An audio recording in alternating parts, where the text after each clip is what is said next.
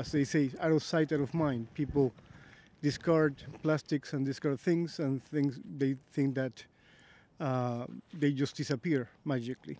So, but they don't. Ecosystems are fragile, and they need an awareness. So, my joy really today is to work with, for example, different age groups, but those two children, Ben and, and Peter, his brother Peter, and also Eva with her broken left arm. I, I get such joy out of answering their questions and showing them, well, listening to them respond and their excitement of what they find, identifying a flower they never knew before. Um, that's a big part of it for me.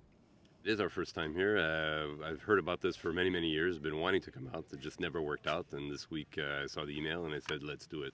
And uh, I said, "Let me take Eva with me because we're always talking about cleaning up the earth and doing something about plastic and whatnot." So I said, "This is a good way to expose her to uh, you know real conservation uh, work."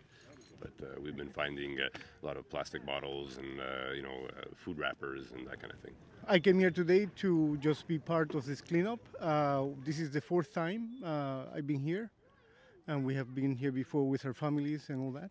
We are patrons of this uh, park. We use it uh, throughout the year. So it is important to us, it's important to the community. It's our first time out here cleaning the mountain. I just really like taking care of the mountain because then it's a better place. We live just at the bottom of the mountain, so we're here every weekend and just wanted to do our part to, uh, to help keep it clean, clean it up for spring. I got masks.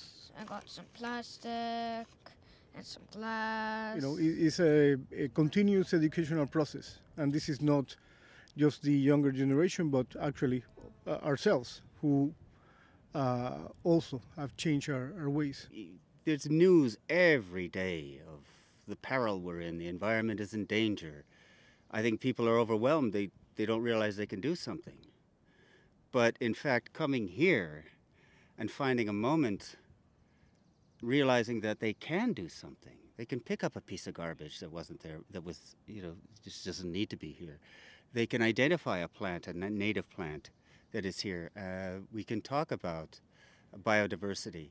Um, it's the act, action, deciding to do something and finding a moment to be grateful for that. And that's what I've experienced today with these people. The coming out of the excitement, yes, we can do something and it's the moment. Don't get lost in the future and uh, the next day. Concentrate on what's happening now.